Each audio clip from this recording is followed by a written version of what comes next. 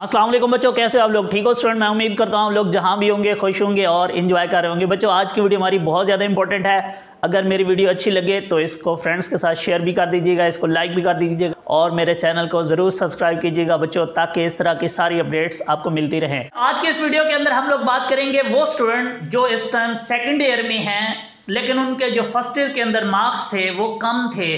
वो अपने मार्क्स किस तरीके से इम्प्रूव करेंगे?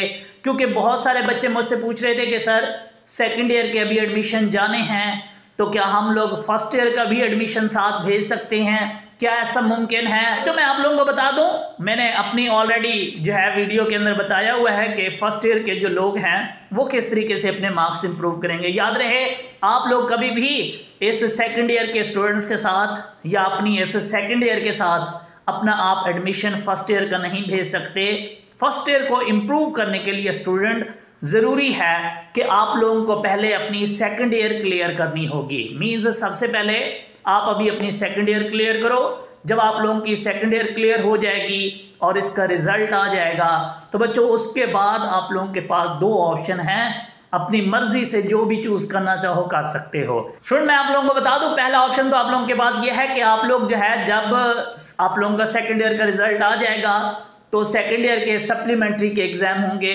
आप उस सेकेंड ईयर के सप्लीमेंट्री के एग्ज़ाम में अपनी फ़र्स्ट ईयर इम्प्रूव कर सकते हो। मैं अब यहाँ ज़रा आपको बता दूँ, दूसरा ऑप्शन बता दूँ, फिर इन दोनों में से जो बेनिफिट है, जो आप लोगों के लिए ज़्यादा यूज़फुल है, वो भी आपको बताऊँगा। दूसरा ऑप्शन बच्चों आप लोगों के पास ये है कि भाई आप लोग 2022 के अंदर अपने मार्क्स इंप्रूव ना करना।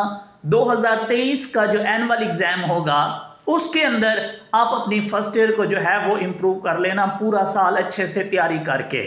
अब बच्चा यहाँ सवाल करता है कि, सर, मैं नहीं चाहता कि मेरा साल ज़ाया हो। मैं नहीं चाहता कि मैं 2023 के अंदर जाके पेपर दूँ और इससे मेरा साल ज़ाया हो जाएगा। स्टूडेंट एक बात याद रखिएगा, ये जो फ़र्स्ट ईयर के लोग होंगे, जब ये उसी सप्लीमेंट्री एग्ज़ाम के ऊपर अपना फ़र्स्ट ईयर इम्प्रूव करने लगेंगे तो जब इसका रिज़ल्ट आएगा बच्चों यूनिवर्सिटी के अंदर तो तब तक एडमिशन हो चुके होंगे।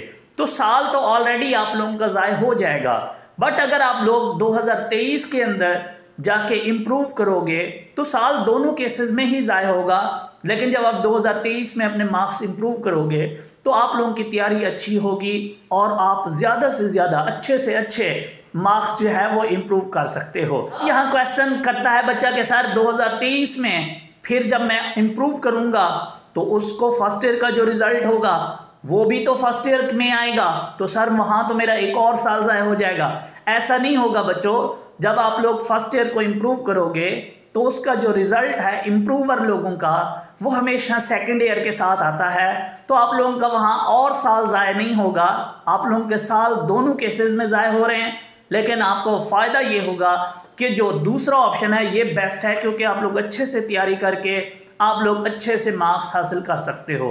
बट फिर भी आप लोगों के पास कोई और अदर ऑप्शन है, जिससे आप लोगों का साल ज़ाय नहीं हो रहा तो फिर आप लोगों को कर लेना चाहिए। और अगर आप लोगों को ये भी लगता है कि यार मैं 40 दिन के अंदर अंदर, या जो भी दो माह है, तीन माह है, इसके अंदर अंदर जो है सप्लीमेंट्री एग्ज़ाम के ऊपर अपनी फ़र्स्ट ईयर की भी अच्छी प्रिपरेशन कर सकता हूँ तो आप लोगों के पास ये ऑप्शन मौजूद है कि आप लोग सप्लीमेंट्री एग्ज़ाम में अपियर होके अपने पार्ट वन के मार्क्स इम्प्रूव कर सकते हो। याद रहे, इसके लिए ज़रूरी है कि आप लोगों की जो सेकंड ईयर है, वो क्लियर होनी चाहिए, वो पास होनी चाहिए। अगर वो पास हो गई तो आप लोग कभी भी अपनी फ़र्स्ट ईयर को इन दोनों ऑप्शन को यूज़ करके अपने मार्क्स इंप्रूव कर सकते हो। तो स्टूडेंट मैं उम्मीद करता हूँ ये वीडियो आप लोगों के लिए हेल्पफुल होगी। दुआ में याद रखिएगा बच्चों। थैंक यू सो मच अल्लाह हाफि